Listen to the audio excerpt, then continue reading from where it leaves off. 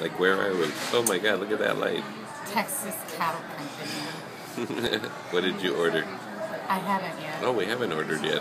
No wonder I'm I'm so order hungry. the super with brisket, ribs, and sausage.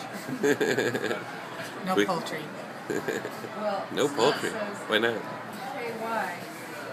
that too much Because I, light? I mean, because because barbecue poultry just usually doesn't appeal to me. They Oh, tar really? the skin, and I don't like tarred chicken skin. I like crispy chicken skin. I love barbecue chicken. So barbecue chicken. we're compatible. See, I can eat all the stuff you don't care for whenever it comes our way. I eat Does all that the. mean I should get the five meat platters with turkey and chicken? Mm, don't tempt me.